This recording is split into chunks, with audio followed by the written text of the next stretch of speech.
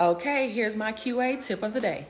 Now, if you're looking to actually be a QA tester, you're starting your first role, you should be able to break the system. You should be able to think outside of the box into as many scenarios as possible as to how a customer or a user is going to come into interaction with that functionality. So you should be able to think about testing from three different perspectives. One, a functional testing. Is the application doing what it's supposed to do? Is it working properly? Second, UI, user interface. Is the application or software or program designed the way it was designed to do? Like, is it looking the way the designs and the design specifications are designed? So when I get the application, does it look how the business says it should look?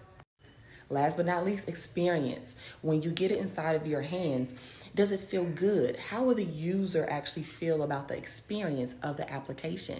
Sometimes you can get on a website or a program application and you're just like, this is not a user, a, a great user experience. It doesn't feel good, right?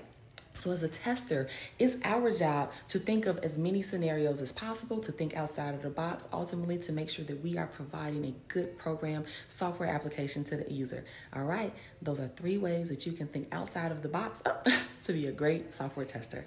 See you soon.